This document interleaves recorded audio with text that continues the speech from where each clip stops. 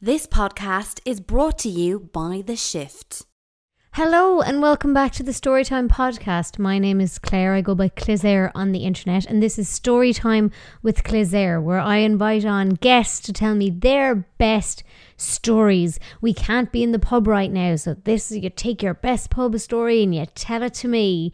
If you want to be on the Storytime podcast or Storytime with Clisare, as I'm now calling it, please email storytime at theshift.ie. Give me a quick summary of your story, and I will be in touch to organise you coming on the podcast. This podcast is first and foremost brought to you by the patrons on the Storytime Superhero tier on my Patreon, patreon.com forward slash Clisare. Please click the link down below in the description box or in the show notes on the audio platforms and consider becoming a patron of the show. This podcast is also supported by affiliate links. So this week's affiliate link is Amazon Music. The link is getamazonmusic.com forward slash Clisare. Again, all the links in the description and in the show notes and the audio platforms.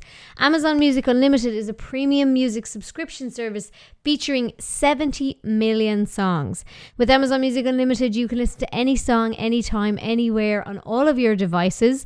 You'll never hear or see an ad, and of course, you can download songs for offline play or playlists for offline listening. Amazon Music Unlimited gets to know you, personalizing your recommendations based on your listening habits. And whether you're after the perfect after dinner playlist, all weekend listening, or recommendations for the best new indie music, Amazon Music Unlimited has it all. So, to get unlimited access to 70 million songs free for 30 days, go to getamazonmusic.com forward slash Clisare.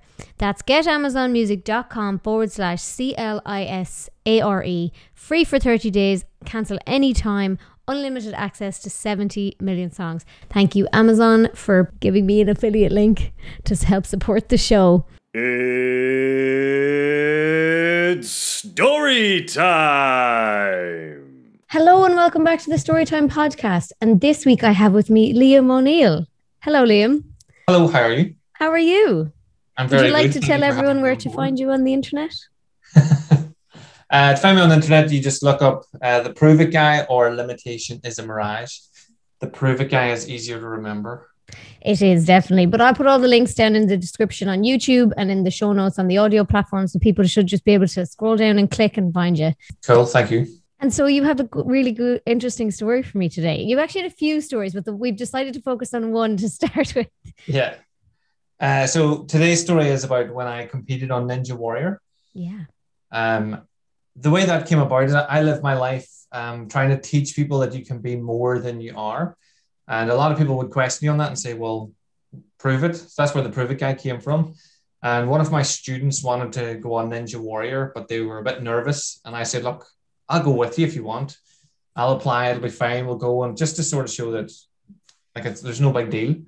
Um, we showed up. Uh, he ended up doing the hour before me and came out and told me how hectic the workout was, and it was um, just a lot of a lot of exercise in a small space of time, which I wasn't really prepared for, even though that's what I spent most of my time doing. But I sort of just went up to help him out and back him. Um, so when I went in, I thought, what would win the Ninja Warrior team over? Would it be me being super fit like everybody else? Or could I do something mental that they just can't look away from and they want to see again? So we went, you had to go and do a, workout and then an interview. So I was lucky that the interview was first. So I was still fresh looking. I wasn't all sweaty and looking like a complete mess. And the camera woman, the girl, there was a girl in front of the camera and she's just, she was holding up on her shoulder and she said to me, uh, just say your name. She must have done this about a thousand times. She went, just say your name and your age and where you're from and what you do. Real bored. And I was like, my name's Liam O'Neill. Um, I'm known as the Prove It Guy. I could tell you what I do, but instead I thought I would show you. And I took a plastic chopstick out of my pocket, the one that you just get in a Chinese restaurant, just an everyday chopstick, and I put it on my throat at the soft bit at the bottom of your throat, and I smashed it with my hand, so it like exploded.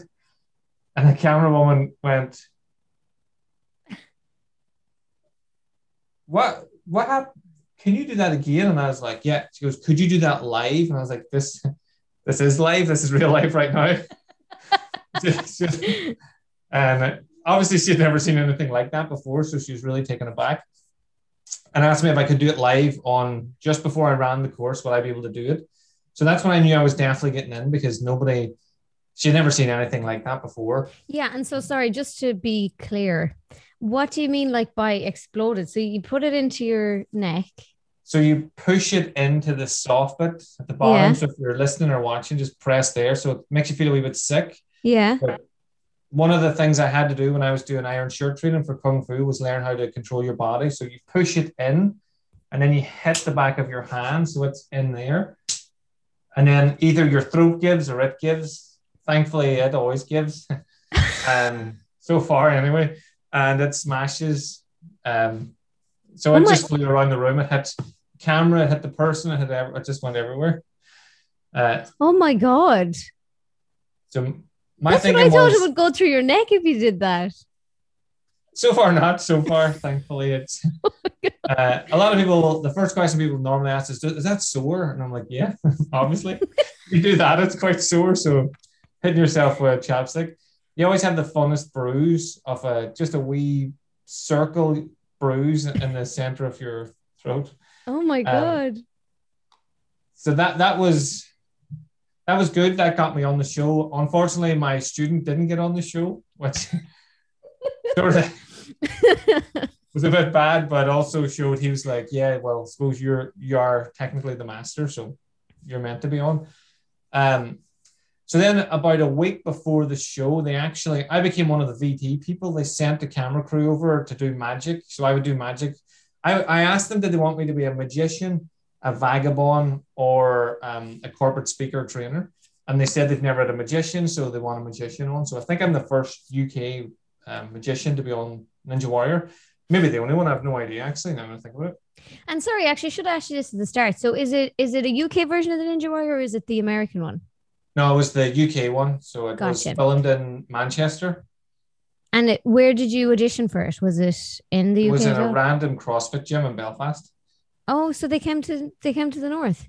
Yeah. So they, Oh, they- amazing. they came over. There was hundreds of people there. Like they were just every hour they were just filling in about 50, 60 people, and you just had to compete against each other. And like because I knew I get through, I didn't bother trying and the exercise stuff. just there was no need. It was, and I had to drive home and also didn't bother. Like, yeah, was it like- wasn't about that. yeah. There was, there was a bit of running. I don't run and all the training I do. I, I just don't like running. And we went to start running. And there was a wee fella beside me and he was like, I'm going to beat you. And I was like, yeah, definitely are. and the woman hit the bell and everybody took off running. And she looked at me and she was like, why aren't you running? And I was like, I don't run. It's like, what you needed to get a Ninja Warrior? I was like, I don't run. The guy who was going to beat me ran, like, this is how hard people were putting in. Like, he ran so much. And when he, he won, like, he did, it was like an extreme bleep test. And then he just threw up in the corner. And I was like, that's why I don't, that's why I don't do it. It's no good. Like, people were really putting in the effort to get there. Uh, so the, the camera crew came to Belfast. They, that was mad. They got, they took over, not took over, like, but let us have full reign of the Titanic Quarter up in Belfast. So we got into exhibitions and stuff, and I had to perform to different people. This was before I had any idea of, of TV magic and knew nothing about editing. So I did really, if you were there live, like I did really good routines, whereas I should have just did quick, sharp tricks. Uh, like in the, if you actually watch the the Ninja Warrior I'm on, they edit one of the tricks to make me look like a, bit of a fool in it, for want of a better term. They so during the routine, it's about a book. The girl's thinking of a book, and it, one of the characters in the book's called Leo. So I say to her, if I was on stage, I would say, "Is your star sign a Leo?"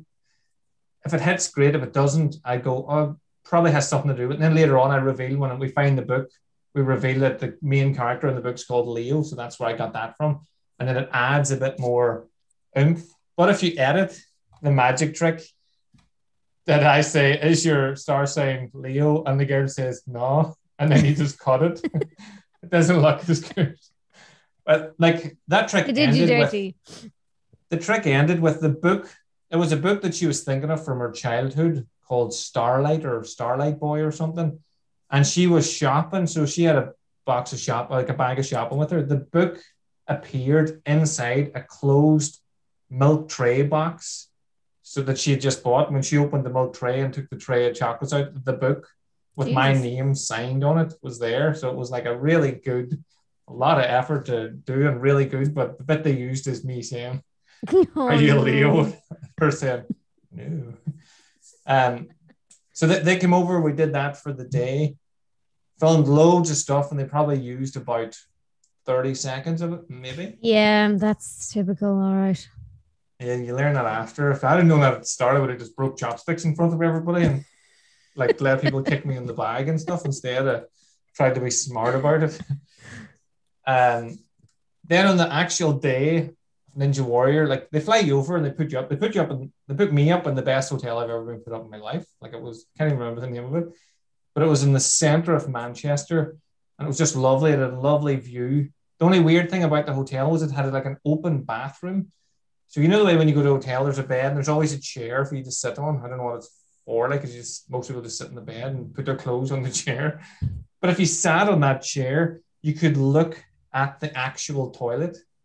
So that was so weird. And there's no way of like there was no door or anything.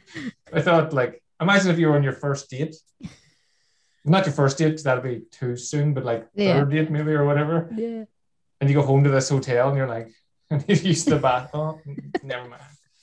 Um, then the next morning you had to go, like you had to sign all this paperwork and stuff, and people were complaining in the queue. Like there's so much to read, like maybe 10 pages. And I they said to me, do you, do you want to read it? And I was like, no. And somebody else complained, then no, I'm going to read it. And I was like, is there anything they could possibly say in this that would make you not do Ninja Warrior? And they were like, no, I'm doing it. And I was like, well, then who cares? Just write whatever you like. I have no idea what I signed away. So I just I mean, it. I'd say it basically says if you die, it's nothing to do with us. It's your own fault. That's what I assumed. I was like, yeah, if I die, Rocky Four, if I die, I die. I was like, good luck from way. Um, I ended up being there for about, like when we were walking there, there was no shops or anything open, so I didn't bring any food with me. And I was on quite a strict diet at that stage. They offered us sandwiches, which I didn't think was a good idea when I haven't had bread in years. I thought probably not a good idea to start eating sandwiches now. So I hadn't eaten for about eight hours. I think I might have had a banana like earlier in the day, but we were there for about eight hours before you had to go. I ended up doing some mindset work with people in the because I've worked with a lot of um, like competitors, fighters, and things like that for a mindset. So I did that with a few people before they went on. Um, one of them actually got through to the final, as far as I remember. But so on my run, the first thing I had to do was break a chopstick on my throat. So I had to walk up and you know the way you see everybody like they do like a pose or like a Yeah. thing. So the whole audience, there's an audience man who's like G in the audience up, and everyone's going mental. There's about two thousand people there. I break a chopstick, and the whole place just goes, just silent. No way. Know, like, oh, uh, which obviously they never showed on TV because it looks super dangerous. So they're like, well, we can't actually show that, but can you do it in front of the audience? No way. So they didn't even show it. Nah, they didn't, they didn't show my my. They showed the VT. They didn't show the chopstick, and then they showed me starting the That's so course. odd considering like that's why they picked you. Yeah, but I think they just wanted something different in front. Probably the way I thought it was the girl who was in charge of picking people thought it would be awesome, and then when the legal team saw it, they were like, "No, That's probably what happened as you can't do that." Um, It suck all the fun out of everything. yeah, even though I'd signed a waiver, like if I die, it's fine. Don't worry about it. Um, whenever you're seeing the course too, which it was weird. Like people always ask me, how many times did you get to try all the stuff? You're not even allowed to touch the course. Like one guy tried to touch the wall. Like you get to walk and you're allowed to ask one question as like a team of people do it. And you're allowed to say, like, should I run it this fast? Is this hard? Most people, you're only allowed one question, and most people get in before you and they ask stupid questions like, was that really difficult? And the, and the guy must be so used to it. He's just like, yeah. Next, and you're like, oh, now we don't know anything about it. Um, like one guy tried to touch the, the wall and they panicked and like went mental. So you weren't actually allowed to touch any of the course. You see it from a side view, but not straight down the middle either. Wow.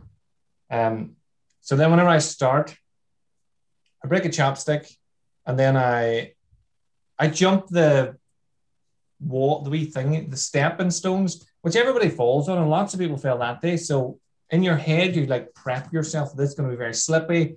Get ready to catch. It's like landing on glue. You land on it, and you're like, how like my? I'm sitting thinking, how did anyone fall off this? Like it's it's like worse than a skateboard. Uh, and then I I move on, and there's a bit rolling logs. I think it was like the second or third thing that I did. I only have one person in the audience with me, and she was from the north as well. So when I w- started to run towards the logs, the north voice just pierced the crowd, and like, and it was just a thing that we always shout. So that distracted me, and I fell. Oh no. But I landed flat. I fell forward and hit everything like a big gangly mess. But it's it's slightly lower. Where I landed was lower than the audience could see, so it looked like obviously I'd hit the water. And then I'm lying on my flat and I roll just across like rolling logs and get to the other side and just stand up and do a power pose. And everybody goes mental because it looked like I was I was completely. They gone. thought you were gone. and I do love a power pose, so I got through a power pose in there. Then I the next bit I had to do was you jumped onto it was called a UFO. You had to catch it, and then it swings you down, and it, you're supposed to time everything and jump off it and land on the mat. And they talked when they talked about it, they talked about it like it took a lot of skill and preparation and timing and like really pay attention. But when it throws you down, it hit the stop so hard that it just threw you off, and you just landed. I just landed on. I didn't try. I just was like, right, I'll hold on. My brain's thinking of all these intricate ways I'm going to try to achieve this, doing all the math, and all of a sudden I'm just flung through the air and I just land on my feet. And I'm like, I did it. Hooray! um, and then the the next bit, you had to jump onto a thing that like you only had wee finger grips, and it's you had to Oh, yeah. swing it, and then jump to a cargo net. And before this, I had tore my scapula. So from doing hypnosis, I, I had wee protocols in that if I do anything stupid, my arm will just stop. It'll not let me do it because it'll re-tear. So you see me do it. I, I jump off the horseshoe looking thing and I catch the cargo net with the arm that's not supposed to catch it and it just lets go. And I go flying backwards uh, into the water. So that's as far as I got on it. I didn't actually get to finish it. Um, but the most inconvenient bit for me is I don't really wear shoes as, as much as I can get away with wearing shoes. I won't wear shoes. I always train without shoes on. I'm not wearing shoes right now. As in bare feet, or you wear like No, bare feet. As Oh. much as I can get away with, I'll be bare feet. Um, are and I you not freezing? for- I don't wear bare feet because I'm always cold when I do. you can get wee shoes that will get you close to bare feet but keep your feet warm. I would always suggest them to people that want to be barefoot but are, are cold all the time. Yeah. Or maybe you could wear like 80s ankle warmers. Like, I don't know, it might help. I've, I've never tried. Um, but Ninja Warrior wouldn't let me do it in my bare feet. Oh yeah, of course not. But I didn't, but I didn't, for me, I was like, what are you talking about? I was like, I'm here right now in my bare feet. Like the only time I took Oh, so you were walking around in your bare feet outside of doing the course? Yeah, I only brought shoes to get through the airport because I didn't know if you'd get through an airport with bare feet. You know, they So make do- you take would you wear off, like but no feet, no shoes, like outside? Like you're Yeah. not just talking about indoors. yeah, if I can get away with it. The only time I really wear shoes is when I work in clinical places where you have to, where to hygiene's an issue. yeah. And then because of COVID, I, I wear shoes now because COVID was an issue. So, but generally, if I can get away with it. So I had a pair of shoes with me and they made me wear them for the course. And so were they the right shoes now? Because like presumably you don't have like I'd have a million different pairs of shoes for different activities. They're, I've been buying the same pair of shoes for about 12 years. They're like, they started off at about 12 pound in Sports Direct. They're like, Mm. they're like Lonsdale. They're as thin as you can get shoe. So they wouldn't have been Mm. Well, at least they were runners, were they? sort of, yeah, they're, yeah. Yeah. But that meant that I only had one pair of shoes with me and I landed in water. oh. And it's like, so landed to the airport, had to buy a wee pair of uh, flip flops because they were like, your shoes are soaking. What are you doing? like, I? So I went to the wee kiosk and bought um, Superman versus Batman flip flops. Nice. and people were quite content with them walking through an airport, but not shoes in general. Um, so that's my Ninja Warrior story. The only add-on is my nieces now. My nieces watched, and obviously because they think I'm superhuman, they were like, "You'll definitely do it," and then I didn't do it, and then they were like, "Oh, better luck next time." and now every time it appears on the TV, they're like, You're, "Are you going to do it this time?" They call me Uncle Liam. They don't just No way. every time they're like, "Are you gonna do it?" And I'm like, "Maybe." so what I have been contemplating is because I got better at editing and video and Excuse me. just editing it, and they're taking the, the video, editing it, so I do complete it because there's a warp wall in Belfast. I just do it, and they'll be like, "You did it this time! Hooray!" That'd be So I think they so think I funny. won like every week until I get it. That is so funny. and then how long did it take to come on TV after you did it? It was about three months, I think. Oof. Uh, you're not allowed to talk about it or talk about being on. You're not allowed to take any photos of it or video or Yeah. anything. I expected that, all right. But some anonymous person sent me photos and video of my Ninja Warrior.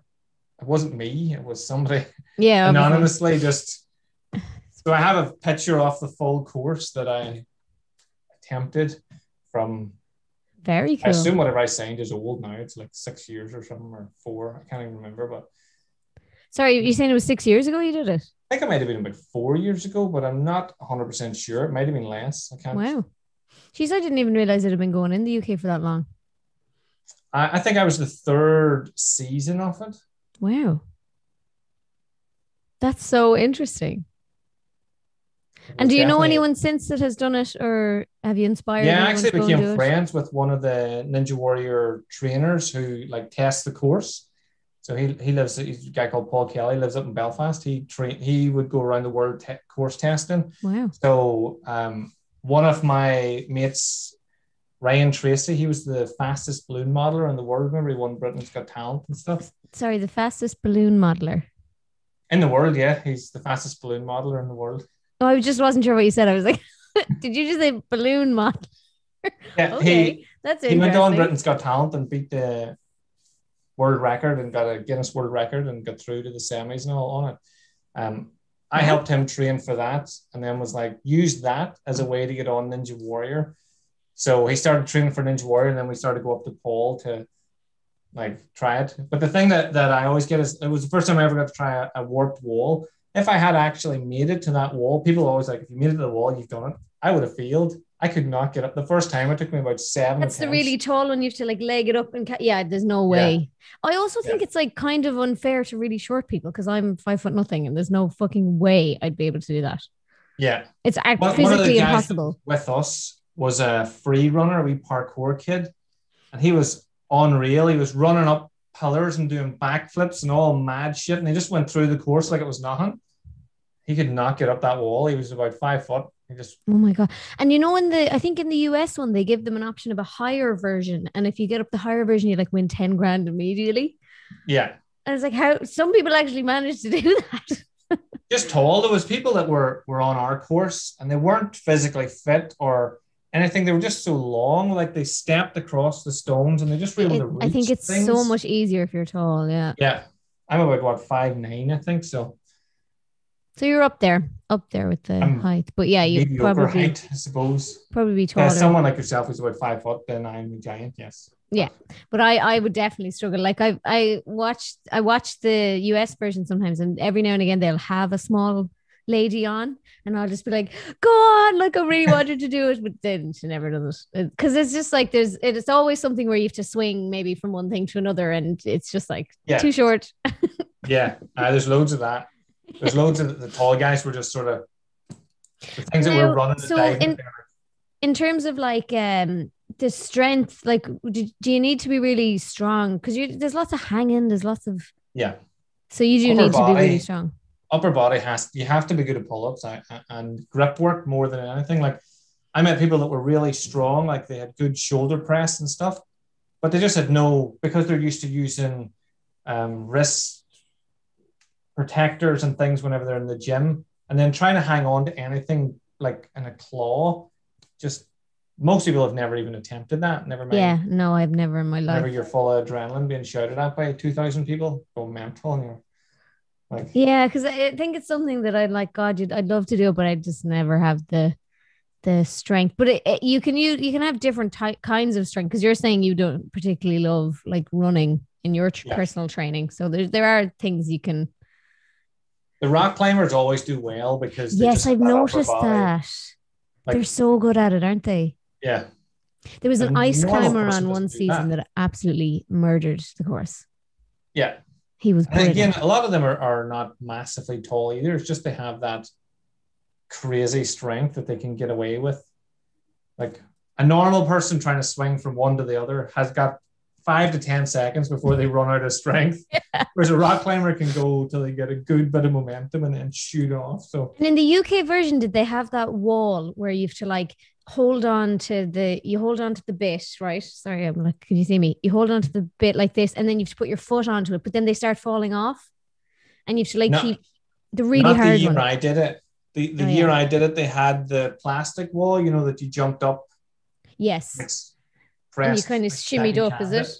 Yeah. Yeah. So they change it every year, but also they changed because we met a few of the ones that had done the day before. So we met them in the same hotel and we were like, so what do we do? What's the crack? And they were all complaining about rope burns. They were all hands were wrecked from rope. So we were all like, Expecting loads of rope. yeah. And all the girls who were in the hotel were stopped moisturizing immediately. They were like, no more moisturizing for the rest of the day until tomorrow. The, and there wasn't a rope in sight when we got there. So do you, were they changing it day on it. day? Yeah. Oh no way! Yeah. Which makes sense because everyone's going to do what we did, like ask the people. Yeah, I just never, I never thought of that. I thought that everybody had to do like the exact same thing, No. or yeah, I'd never even thought about how they would actually organize it. And come here, was there any parties or anything then once everyone had finished in the hotel, or did everyone just feck off home? I finished my run an interview at about five to six and soaking wet was walking through the the entrance place getting changed Oh yeah, and straight out into a car straight to the yeah. Sorry, you said you, you so you you said your shoes were wet at the airport. So yeah, you obviously didn't stay. Well, I went straight. So they have a morning and an evening. So they booked us the night before you land. So I landed about 10 o'clock at night, went straight to the hotel, and then you have to be there for half eight in the morning. And then you're there all day, and then about six o'clock, the new people are coming in as you're being put out, the new audience and everything. So it was in the big arena in Manchester, and the, the one that's in the middle of the town. So I, I'm walking through there's like 2,000 people leaving, 2,000 people arriving, and I'm wandering through getting changed in the middle of this place because I'm soaked. God, yeah. I wonder how that uh, series has been hit by COVID. I'd say, say they might Same as skip a everything, I season. imagine. Yeah, I imagine they just stopped because, yeah, I'd say so. don't know, actually. And There's so uh, many courses that people have in their back gardens that they could do a home edition. yeah, maybe That'd be good That's crack. an idea for. Pay for that one. Um, and did you were you well known around the time like when it came on? Because I know that when I was on Say Yes to the Dress, I got loads of people being like, "Oh my god!" it was Yeah. like, yeah, it was amazing.